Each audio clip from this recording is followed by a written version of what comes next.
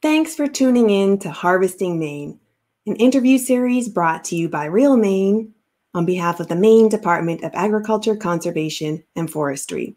Today, we're talking about plants in episode two.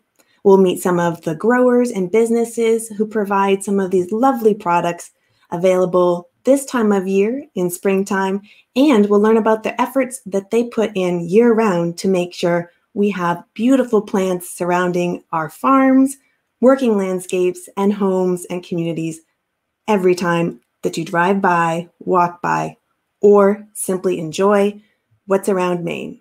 Let's meet our interviewees.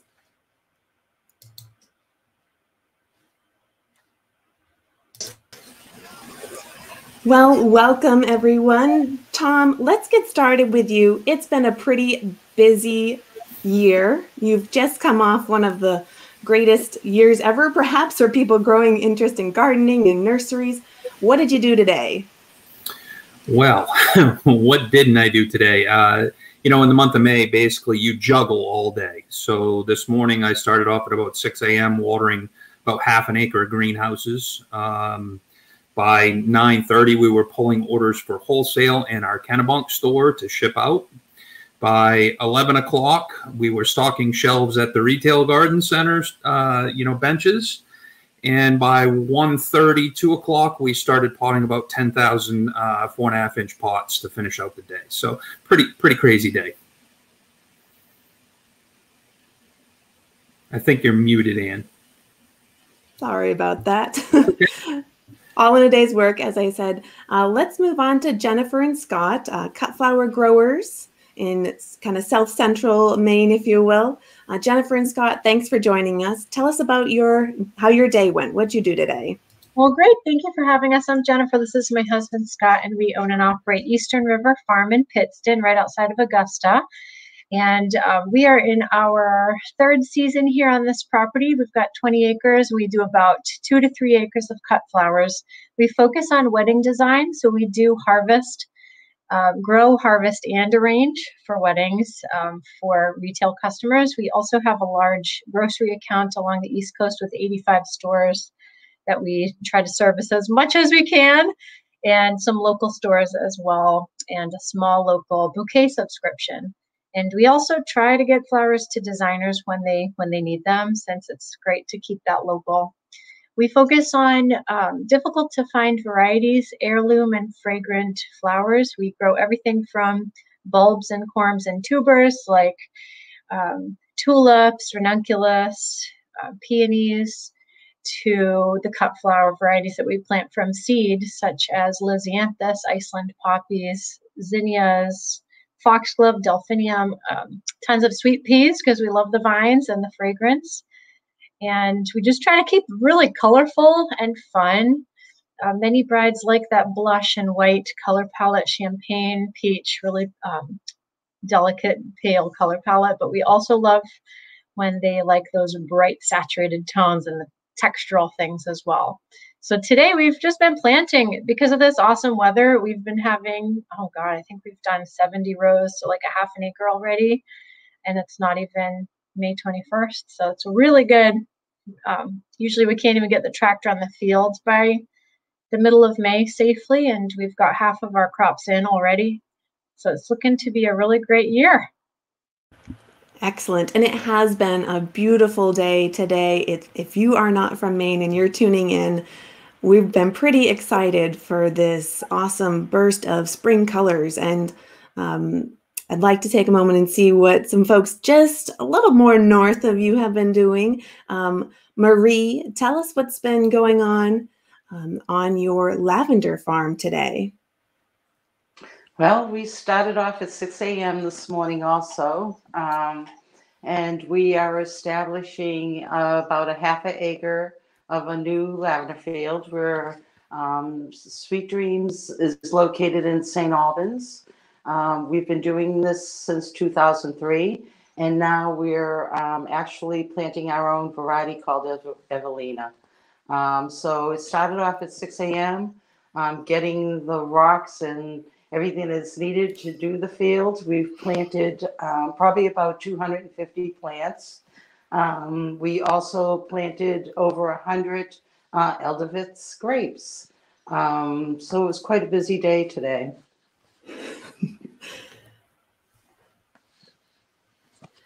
Thanks, Marie.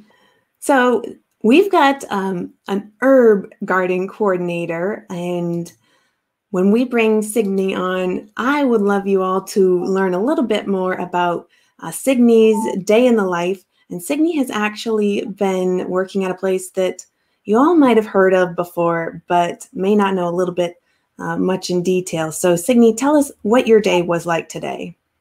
Yeah, I can definitely walk you through that. So, I work out at the Sabbathday Lake Shaker Village as one of the herb garden coordinators out here, and we sit on 1,800 acres of farm and forested land.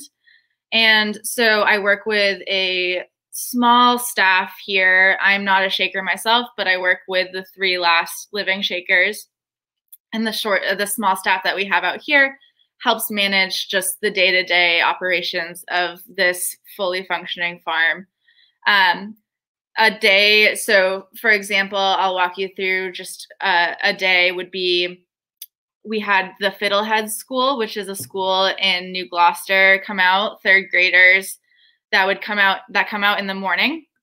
They do an activity with brother arnold in the barn with the sheep as we have a, a big large uh, flock of sheep as long as well as highland cattle and then they'll come up to the herb gardens for a little bit and they'll do some work in the herb gardens. Uh, as we have school groups that come in or volunteer groups that come in in the morning we'll then have a period where my uh, coworker Ali Armstrong, who's an herbalist who also works in the herb gardens with me, will will do some planting in the afternoon uh, as as others are saying, it's it's an early planting season for sure. So we're really working on getting some of the seedlings in the ground, and we do the seedlings here on site under grow lights, and we also have partnerships now with the New Gloucester High School and the Portland um, Art and Techno uh, Technical School paths uh, in Portland that help us with our seedlings. And so we'll do some afternoon planting um, if the weather cooperates, like today. And now, right now, I'm with you, and my coworker Ali is actually at the Yarmouth Farmers Market with some of our early fresh herbs, as well as all of our dried herbs from last season and dried floral bouquets from last season. So she's there now and then our director, Michael, is actually, I wish I could show you and just turn the camera around, um, but he's up with our sheep manure, kind of turning that into some of um, some new plots that he tilled out this year. Uh, so the day is still very much happening for us um, with the farmers market going on right now and Michael up in the fields and me with with all of you.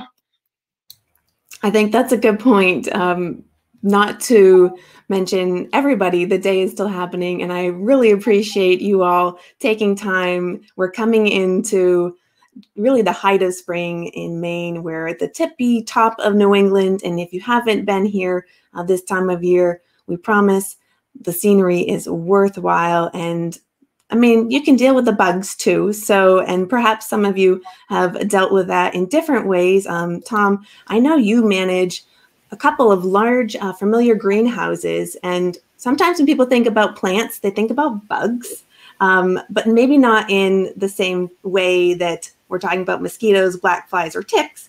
But you might use like beneficial insects. Are you using those in your greenhouse and nurseries? We use um, an IPM approach, so integrated pest management. So um, everything from nematodes to uh, beneficials are part of our program. Um, it's a multi-pronged approach. So um, nematodes have, have really made a big difference on one of our major pests, which are thrips. And a lot of homeowners don't really understand what thrips are and and how they affect plants. Uh, you know, they will riddle, but they also will transmit a lot of disease, um, like imp- impatiens necrotic wilt virus and, and some others.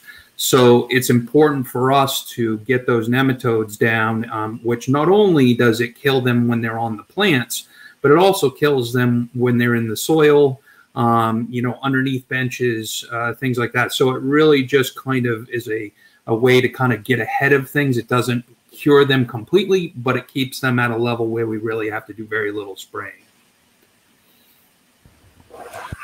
And the acronym um, IPM, Integrated Pest Management, um, is that part of something that you also help your customers learn about? Um, how does that work if people are looking to use that at home, or do you share it with other growers as, as tips for getting ahead of the pests and managing that? Yeah, certainly. We've been part of, uh, you know, uh, many meetings. We hosted uh, a couple years ago before COVID hit um, the tri-state uh, integrated pest management uh, meeting at Estabrooks um, with, I think there was about 25 or 30 different growers there. Um, and we explained how we approach things. Um, we also take a, a, proactive approach to homeowners and try to use the least toxic uh, product available to get the job done. Um, so always looking for, you know, the most effective um, and least least um, you know toxic in order to uh, you know take care of whatever pest. But identifying the pest first is really the, the key for a homeowner, and from there we can treat appropriately. Uh, Jennifer and Scott, do you um, have any tips that you've come upon as cut uh, flower growers and gardeners? Yeah. You're yeah, offering a, fun, a lot. this is a fun topic. But since we're on a smaller scale, we have one greenhouse at 70 feet. Um, we have our IPM team is our ducks. We've got about a dozen ducks. They are awesome with the slugs and snails, which are common pests mm-hmm. on Iceland poppies and dahlias and some other cut flowers. But because of our scale and the fact that we grow so many different crops in smaller amounts, we don't tend to get one pest that overtakes everything, which is one of the pluses to um, growing with such a diverse selection of flowers and crops. Um, another thing we use is like I just purchased my second round of lace wings yesterday, and they just send little eggs on a tag and you hang them from plants in the greenhouse. So if you get ahead of the pests, specifically for us, aphids is a problem in the middle of the summer, around the middle of July. So if we get ahead of those now, that's on my mind, then it does not um, decimate my sweet pea crops too soon. I can kind of control that better with the beneficials. And we have a lot of um, we have a lot of spiders. We have a lot of uh, ladybugs that have overwintered in our white farmhouse. They seem to love white houses, and we just keep corralling them together. And you know, somehow they live through the winter, and we just put them in the greenhouse. And um, what are those other long guys that stick stick thing? You know, uh, praying mantis. We have praying mantis egg cases. Every winter, we kind of just keep an eye on them behind our log pile. And those three, three guys together really help. Oh, and the sparrows. We've got tons of birds here. And they dive bomb all spring, uh, dive in front of our faces and just take the black flies away. It's off. It's a beautiful thing to see everything working uh, coordinated together and you know marie you and i have talked about that before that's part of the reason why you've started your business and you're the first lavender farm in Maine. And that coordination, that collaboration, whether it's the plants or the people, tell us a little bit more how you've managed that on your farm, Marie. Um, we practice permaculture practices here, and we've had issues with bugs. Um, one of the issues that lavender has is grasshoppers wanting to um, give urine and bring up the pH. So when we brought in uh, wild strawberries, that brought in the sparrows. Um, the sparrows wiped out the grasshoppers. They actually nest in the lavender. So we show the children where they nest. Um, and that is taking care of our grasshopper issue. Um, as far as like uh, potato beetles, we had issues with that sucking on the lavender stems.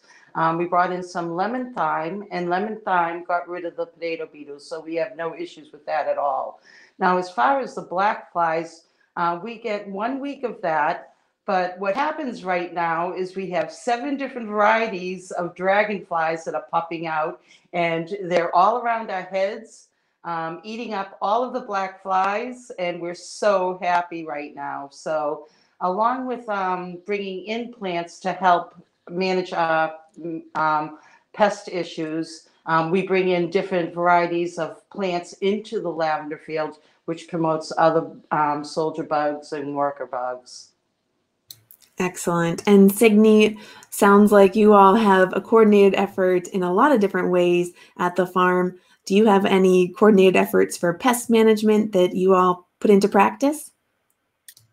Yeah, uh, the herbs that we grow here, we typically our, our biggest problem is uh, like the Japanese beetle on our basils. And we use a lot of reemay to protect it throughout the growing season. Um, so we'll have large, large cuts that go over over the rows that we will stake down throughout the growing season and only pull off when we go to harvest um, because we don't spray any of the herbs here.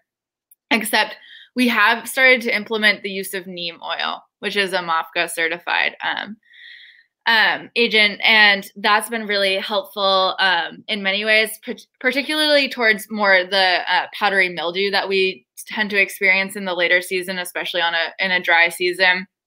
We also have aphid problems on our calendula, and we've tried a lot of different things like the dishwasher soap solutions and sprays and different things that are are organic on our um um in our herbs and to different like varying levels of effectiveness. And we found that the aphids don't tend to actually go on the flowers which is the calendula part of the calendula that we use in in a lot of our recipes and for drying.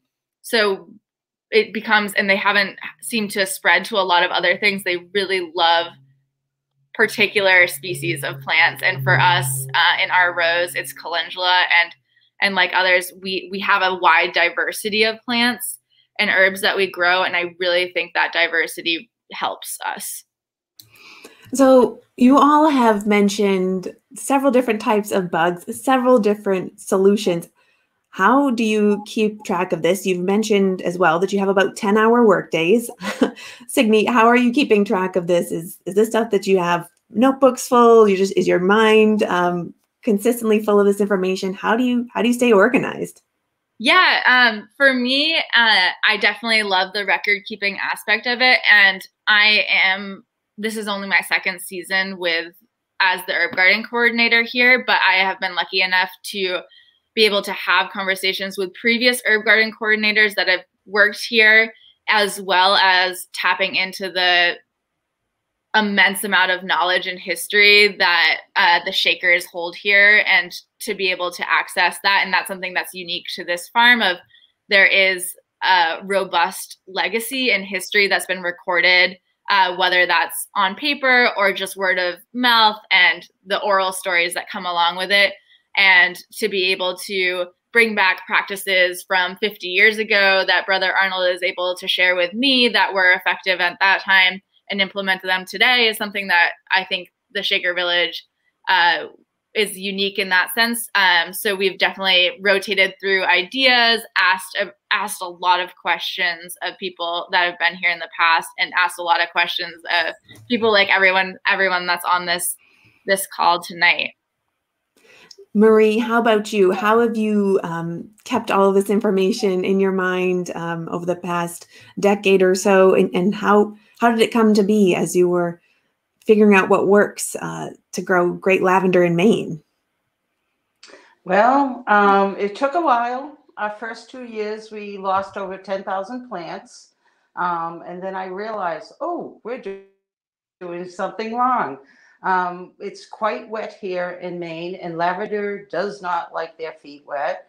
Um, they're also a shrubby uh, plant, somewhat woody, and we were put plastic underneath them, and that was killing them. Within three years, they were gone.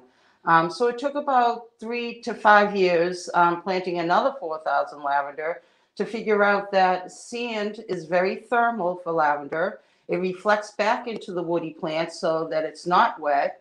Um, and it allows it to grow very large. So it's not restrained by plastic. So some of our lavender is about four and five feet in diameter after about 15 years of growing. Um, some of the plants will produce anywhere between 40 and 50 pounds of lavender from one plant. Um, so over the years, I realized that um, we wouldn't put any plastic under a tree. It would kill a tree. Um, and that is what I did, and it was killing my lavender.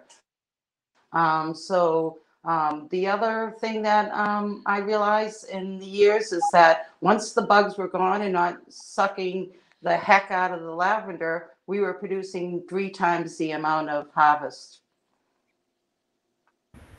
Which is key. So, experience, uh, learned experience, uh, networking. Jennifer and Scott, uh, how about you? What what has been the I guess the magic touch of experience or record keeping uh, that keeps you going eh, through the seasons? Well, first of all, we are always learning. Every single day, there's something new we are picking up, and I'm constantly um, bouncing things off of other growers that, um, not just flower growers, veg growers, other growers in our zone, especially. Uh, one of the things we do to keep on top of things is walking the fields first thing in the morning. So you guys were talking about the wake up time. I'm up early too. Usually it's four, although I don't want to be up that early. I'm like excited about stuff and I'm eager to go see. Sometimes it's three forty-five. I'm like, oh, but I get out there like I sometimes I don't even take my tea with me. I just go out there a couple hours, start weeding, looking at all the crops row by row. I walk down every single row every single day in the morning, first thing. I look at what's going on, see the viability of the new transplants we've put in the day before, um, see if there's any bug activity on there and what kind of insects are on there. Um, and then once I'm indoors, like for lunch, I'll I'll go talk with the other flower growers, especially through the Association of Specialty Cut Flower Growers. They're a wonderful group. Um, you can pay for that uh, yearly subscription, but I do that just for the camaraderie and the experience and the wealth of knowledge. Um, I also try to invite those beneficials early so we kind of limit the problems throughout the season. There's a lot of trial and error, like you guys talked about. You know, not everything's successful. We don't spray anything. We do not spray even neem oil, neem oil although we're okay with it. We just haven't. Um, we take off Japanese beetles by hand and feed them to the ducks. It's like a big old slurry of delicious protein. it's gross. But through like trial and error, we learned, for instance, last year, our tomatoes, which was just grown for our family and our, our farm employees, they often suffer from hornworms, those gigantic, thick, like thumb sized green worms. But I just learned last year by accident that one of the flowers I love for weddings, this beautiful bell shaped, um, high heat bell shaped flower, which are pretty rare, Nicotiana, is a huge uh, hornworm attractor. So it was close to the tomatoes. Our tomatoes had zero hornworm action, and all my Nicotiana was loaded with these huge fat worms. So we're going to do that again because it took it attracted one of the worst pests away from our food crop and there were still plenty of usable stems on the nicotiana. And the ducks will eat those too by the way. So um, just you know talking to other people is pretty much my first my first go-to. Yeah. And a quick question about the nicotiana. So um, because the hornworms and the nicotiana and the tomatoes have all had it sounds like you found and identified a relationship which mm-hmm. you all have mentioned and probably have lots more experiences that you could share.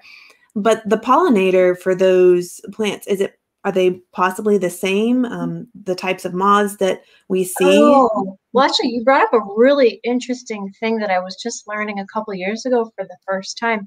So Lisa Mason Ziegler, uh, down south flower grower, has written this book called Cool Flowers, and she's also written a second book called Veg- Vegetables Love Flowers.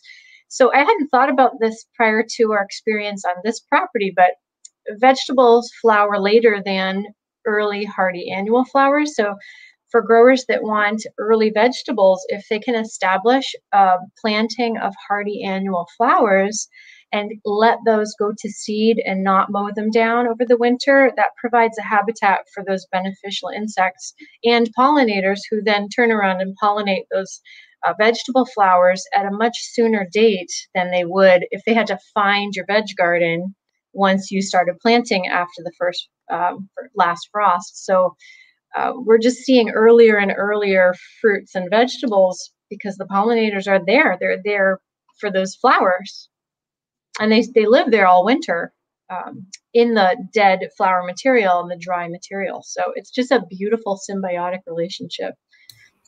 and still learning all the time, which is Yeah, great. me too. um, Tom, so you actually um, you have a family business, which is uh, pretty exciting. Most of you all have family businesses, but it's a little bit different. You have the growing side of things, and you're pretty busy with two locations. Um, I'm sure there's plenty of record keeping uh, to keep you busy. Um, how how do you manage and recall all the information that you need to track uh, from season to season or week to week, and keep it going to meet your goals? So we do a lot of scouting when we're watering um, constantly. Uh, you know, obviously, it's the best time to think.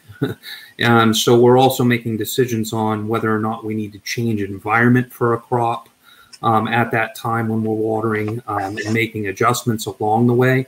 A lot of times, uh, you know, we grow upwards of. Uh, we have at any one time uh, could have as many as 10,000 different varieties on property in the seven acres. So there's a tremendous amount of variety, which creates a lot of problems. Um, not that all of that is in one particular stage, but a, a lot of it really kind of comes back to understanding and doing a crop analysis of what the plant's going to really need to do what it needs to do. And kind of doing that research. And then over the 30 plus years of doing this um, you know you start to build trends within a crop and you start to dial it in more and more and more year after year um, and i think those records really go back to understanding when you need to change temperatures when you need to maybe do preventative uh, maintenance uh, whether it be cutting back or you know other mechanical type of things and then also pest and disease control. There are very common um, trends within weather um, and within uh, the greenhouse environment that really can be challenging because of humidity and other things. So, constantly looking at all of those pieces, but also within the garden center and growing of plant material um, for nurseries, there's a tremendous amount of research from suppliers. The toughest thing is having the time to actually take advantage of it. So, a lot of time is spent in the off season analyzing what we did right, what we did wrong, how we can, can adjust. One thing that comes to mind was our dahlia crop. Um, for years, we would have a lot of problems with our dahlias actually going to tuber um, early and then shutting down, and they would kind of look wilted and kind of not thrive most of the summer. This was specific to the fact that we were trying to grow them for memorial time frame in the darkest months of the year. So lighting that crop took away that problem completely. We had to do no fungicide, no no issues, no spraying, no no problems. It literally was getting the correct lighting schedule and sticking to that. So it's not only environmental, it's not only IPM, it's a combination of a multitude of different things and it really comes down to, you know, identifying what you did right, identifying what you did wrong and then making a plan to kind of try to to adjust uh, year in and year out. And let's face it, agriculture is a um, a bunch of triumphs and a whole lot of failures. That's a good way to summarize it, but I, I really like your point about identifying what you did right and what you did wrong. Um, when I talk to different growers across the state, whether they're growing herbs or flowers or, you know, really the babies, the nurseries of future plants for our homes, gardens, and communities, it's all about paying attention and careful attention to detail, um, which I think is really special. So, along with that, I wonder if each of you could take a moment and tell me kind of what are your favorite parts about offering these products to customers is. Tom, we'll start with you. I think the big thing is we sell happiness. Um, you know, I, there's always a few bad apples that you know kind of ru- could ruin your day, but it's really important to understand that you know what we sell is happiness. We sell beauty. You know we sell a, a, a, product that makes people's environment that much better. And if we kind of focus on that um, you know from a health standpoint from an environmental standpoint you know we are the original green industry And, you know, people can talk about green industry and wind and solar and all of that, but we are the original green industry. And we continue to give back to the environment. And, uh, you know, from my perspective, we really uh, just add more than we take away.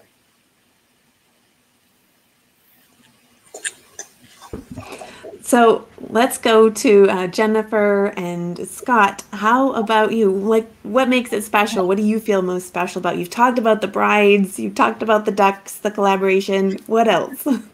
Oh my gosh, Tom said it best. It's it's like, I mean, do you want to speak? I've said everything so far. Actually, being able to make people's day, like Tom said, I think is is a vital part of the industry. But also we, we provide high quality flowers at a, at a discounted price to brides who really need that. You know, they can't necessarily afford to go to a florist and spend five, ten thousand dollars. We provide a DIY solution to them, and it, seeing their faces light up is, I think, mm-hmm. the best thing. You know, it's it's just a real pleasure to to know you're contributing to someone's you know amazing day, and you're trying to make it just that much better. That's excellent. Um, Marie, I know you've done a lot of different thinking behind this, and um, what makes it really what makes you motivated and what makes it special? Do you have any particulars? I do. I do. Um, lavender, people are just attracted to it in general. So that's very easy. But when they get to the field and they pick it and they see the different varieties, they're quite shocked at the different smells that lavender can have or the different tastes that lavender can have. So that shocks them because they're thinking that lavender is just a general, you know, plant and they all smell the same. Um, we make a lot of value added products here. People are surprised that you can make lavender jelly. Um, you can make lavender cookies and lavender lemonade. So um, that um, education to teach people that there is more to lavender than just smelling it. Um, a lot of people um, will come to me and tell me what um, lavender is good for. Um, a lot of people will tell me how aromatherapy helps them to sleep at night. Others will tell me that their children, they'll put the lavender in between the pillows um, and it helps them with ADHD. So I'm getting all of this input from the benefits of lavender. Um, all of our products are here made with love. Um, we range from lavender oils to lavender extracts to lavender um, facial creams, and there is nothing you can't do with lavender. Again, um, it, it's uh, very exciting to get up every morning, uh, especially after a rain, and smell that lavender first thing in the morning. It just puts a big smile on your face. Oh, that is special. You also mentioned um, when we first did our introductions, you, you've told us there's many different varieties of lavender, but you've also curated your own variety. Is that correct? Correct. Um, it took us about eight years, um, but it's here. Um, it's very hardy, and when it comes back in the spring, it's green. It's not gray um, and they tolerate uh, the minus 30 degrees, so we're not having to cover this particular lavender, where other lavenders are a little bit more uh, tender during the winter, so we cover and uncover until the snow comes in and allows them to sleep for the winter. Um, so this variety um, is definitely tolerant of the Maine wet weather in the morning, which again, lavender, they do not like that. So how did you build out this variety? It wasn't it wasn't magic. it's probably a little effort on your no. part. no, we um yeah, um, we took the best of the best of plants, um, and we first started um, growing our seed. Um, but then we realized, um, you know, that it's not easy to grow in a greenhouse. So we cold stratify all of our seed outside for the winter. And in the spring, there's little lavenders. Um, and then we kept on taking the same, that same variety, using it, taking the same variety and propagating. And now we're at that point. Well, congratulations on that. That's definitely a couple special things. Uh, Signe, how about you? What has been a special thing that you've really enjoyed in being the herb coordinator?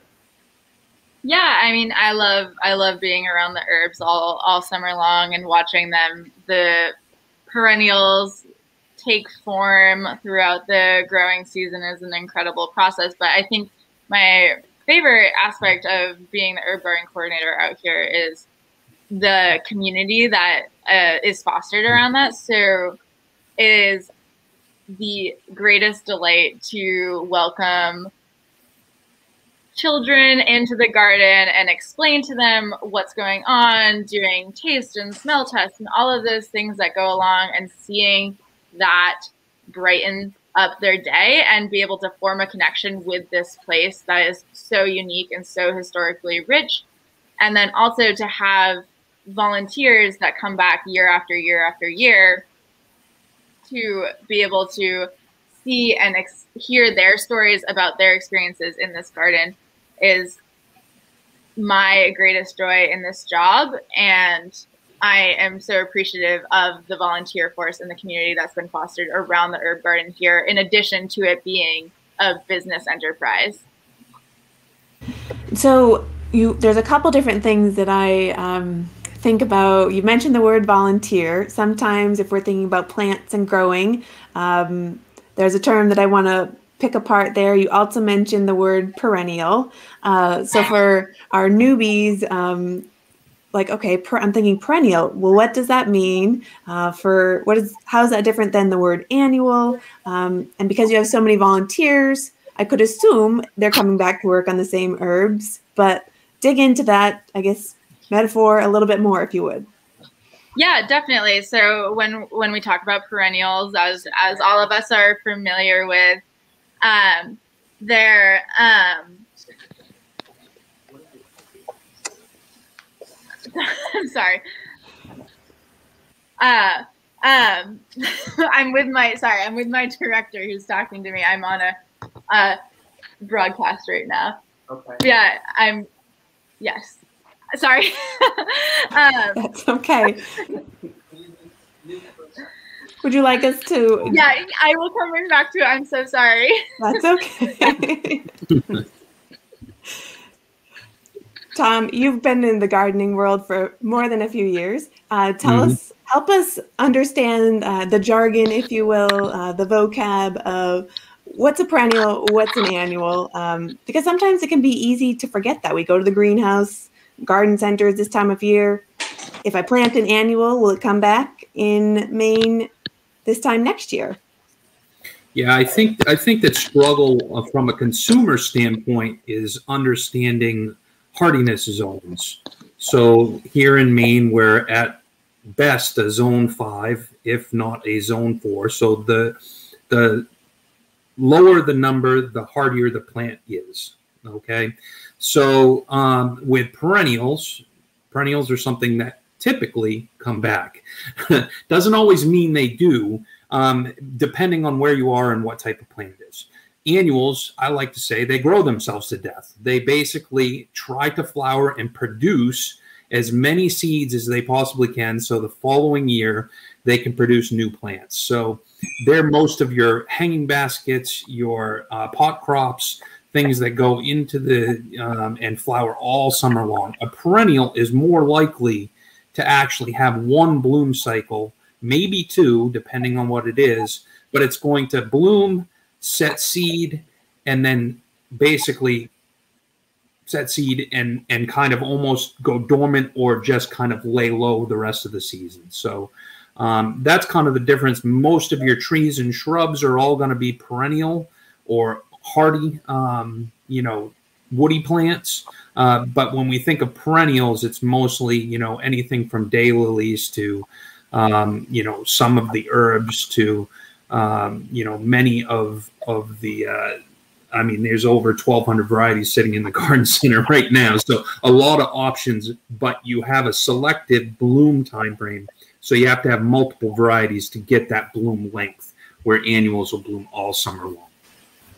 That's a helpful definition. And Signe, sounds like you're back on after taking a quick work uh, timeout. Appreciate you for doing that. Uh, Tom answered our questions about differences between annuals and perennials, but uh, tell us a little bit more about the types of um, products that the volunteers are working with. I want to get back to that because you said that was pretty special. Um, are they coming back and working in basically perennial gardens or uh, particular types of herbs? Yeah, largely. Um, so our volunteers will work with all of the herbs here. Um, a lot of them are perennials, and we have large perennials, perennial beds. So it's very. We have volunteers that have been here obviously longer than I have, but have been working on the same like rows of lavender that have come up, you know, every year for decades at this point.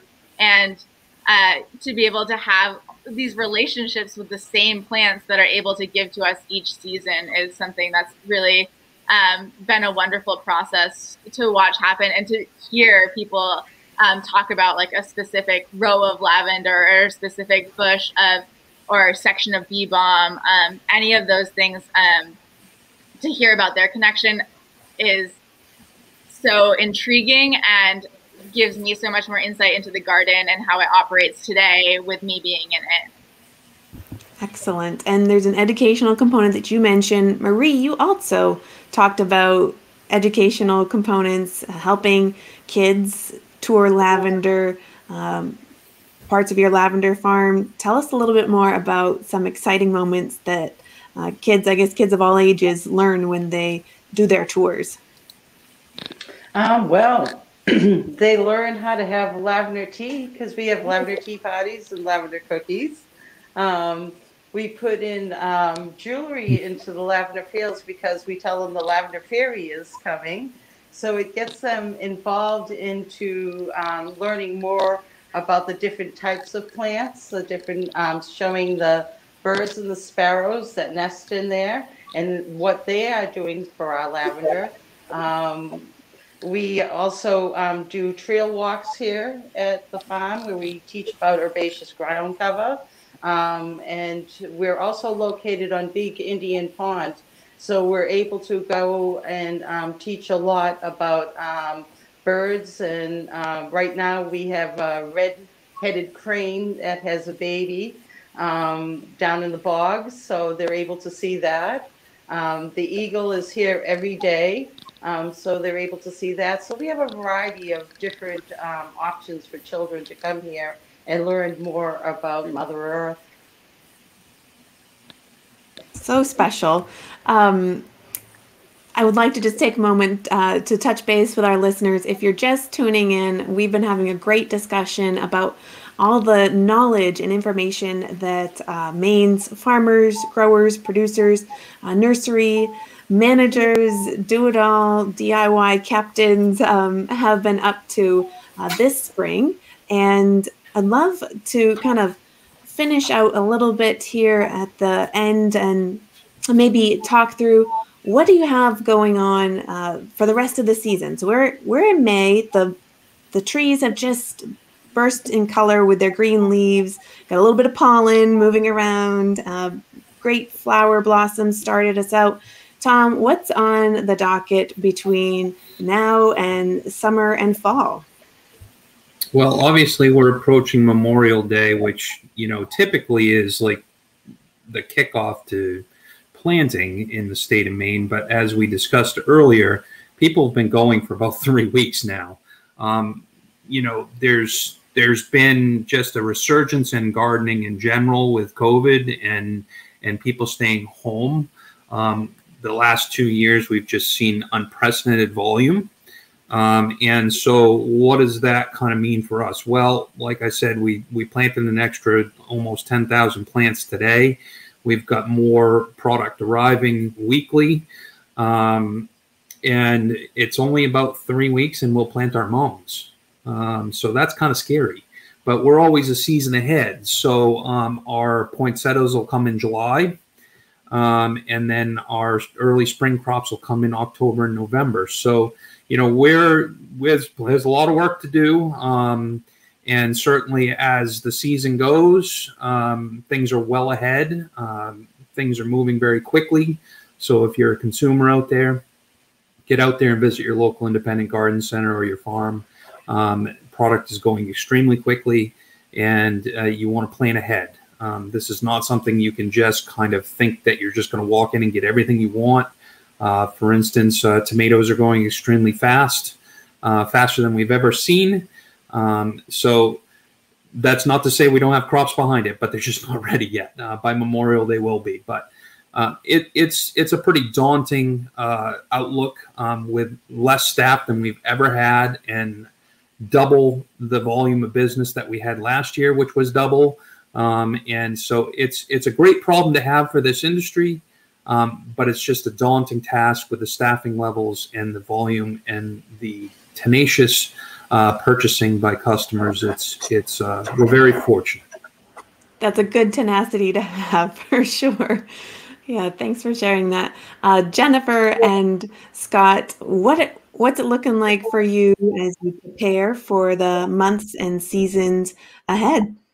Well, very much like Tom said, it's daunting. We've got so much to do. We just want to help everybody. We don't want to turn people away that really need that last minute wedding taken care of. So we've got 40 weddings booked. We already have uh, a third of the season booked for 2022 for weddings, which is pretty early. Um, much earlier than last year's bookings. And we've got also the grocery accounts and the smaller things like the florists and designers. But uh, in just another few weeks, I'm going to start seeds again for our biennials. Talking about perennials versus annuals, we also have this other category, biennials, which are like it's a kind of a way to fool a perennial into blooming its first year as long as it has that overwintering um, cold period then it can start blooming in the spring as if it's the first year for us, but it really feels like the second year for the plant. So I have this whole tunnel planned out to um, start seeds for, kind of like starting seeds for the spring, but it's in the middle of the heat. So there's a challenge there. So in addition to growing um, harvesting and arranging for this season, as Tom said, we're planning ahead for next spring to make sure we have the volume. You know, we're only growing 10,000 tulips, which sounds like a lot, but for a small flower farm like us, that's about average 10 to 20,000. We've also got the heirloom chrysanthemums. We're doing a starting a north field full of peonies. Probably um, 800 to 1,000 bulbs are going in this October along with the tulips. Um, and this is all simultaneously with wedding design. Yeah, that um, starts in three weeks. We have three weddings in yeah. three weeks. Just keeping an eye on the calendar there. wedding after wedding after wedding until the frost comes, and then more weddings. But but in, in amidst you know amidst all that, we have two young daughters, elementary age, and my focus is always on them. I'm like, how can I make this a really rich experience for them to learn and feel included? They're taking more and more responsibility on every day. Um, they've got their chicken chores and duck chores, but both of them have started to grow. My youngest is eight and she's starting pig breeding. We're getting some pigs as well as um, the veg. She, she seeds the veg and she's like, or her name is Chloe, and I found out after we named her that that is Greek for new shoots, new life, new planting. Uh, and she that is she has lived up to her namesake, and she can get anything to start. She'll pick one seed, and we're Scott and I are choosing like two to three seeds, and then we'll thin to make sure we have that cell full. We're not wasting, you know, table space in the greenhouse or in the germination chamber, but she'll pick that one seed and go, Mom, this one's going to be it. I'm like, are you sure you don't want to do two or three? You know, no, mom, this one's it. So, you know, and she's right. my other one's into the flowers and the baking, and it's just it's great. So, amidst all the busyness, we're trying to also balance raising two girls to love the land and want to keep this going when we're gone. We really want them to to want to be here uh, and not leave the farm like a lot of the younger generations do but to take this on for the, their own business and see the potential. There's just limitless potential here. Extra special. Thanks for that one. Uh, Marie, tell us what uh, what the next few weeks or seasons are going to look like uh, between now and next May. Well, we started off this year, um, early April, um, teaching people how to um, take care of their grapes by um, pruning them. Um, then afterwards, we did a class on how to eat dandelions, which is very beneficial. Um, but unfortunately for lavender, it's a short period of time between the mid June to mid July that we harvest. Um, we did get a new variety called Phenomenal because we do like doing a lot of test plants here. And we're planting more of that this year because it does extend our season um, August to the end of August. And what we do with those long spikes is we make a lot of lavender wreaths. So that has been fun. That was last year. We did that for the first time. It was a hit. Um, the wreaths were absolutely beautiful. And so that uh, prompted us to plant more phenomenal to extend the season. Awesome. Gonna be busy still. Signe, tell us a little bit about um, what you have planned between now. Like I said, it's springtime, but there's still plenty of spring, summer, and even fall um, to do some stuff. What's on the rest of the calendar this uh, growing season and harvest seasons? Yeah, so the rest of the season is going to be right now getting the plants in the ground and then quickly in the next two weeks, we're going to start our first harvest of some of our perennials. That includes uh, lovage, yarrow, thyme, um, things that are quick to come up in the spring. And that'll all, this will be a constant cycle throughout the harvest season. Uh, where we do large harvest of an herb and then we bring them up to our, our large drying rooms that we that we use and they are dried and then uh, from there processed and packaged uh, into our herb tins and bulk bulk containers and so that'll be this never ending cycle that we'll be going through all growing season and then uh, attending farmers markets routinely. We're guest vendors at um, a wide variety of central and southern Maine farmers markets throughout the growing season as well as hosting uh, workshops and volunteer events in the herb garden. Uh, having we'll have virtual workshops uh, to allow for more people to access it from all around, as well as accommodate COVID uh, restrictions. So there's going to be it's going to be a very very busy summer, and it's looking like it's going to be a great growing season. So we're just getting ready to harvest, harvest, harvest, um, and go and see people out in the world at the markets and hopefully be able to host people uh, way more than we were last summer um, in our herb gardens. Excellent. Well, I do want to say thanks to some of our listeners who turned who tuned in live. Um, I think we've got a fellow a growing enthusiast uh, just wants to thank you all, saying it's so nice to see um, all of you, and they really appreciated all the wonderful knowledge and info that you've been sharing. And we're just about out of time for this session, but I know that all of you um, will certainly be available at your businesses. You've accommodated all of us uh, tuning in and learning more about Maine plants as we've had episode two of Harvesting Maine. So please, if you're just tuning in and you're listening for the first time, do reach out. We have great ways to connect with our farmers and growers. So, with that, we'll conclude our second uh, episode of Harvesting Maine. Thanks to all of our growers, our nurseries, our gardeners, and our listeners for your time here this evening. Thank you for having us. Thank you, Anne. We really Thank appreciate you. it. Thank you. Thank you.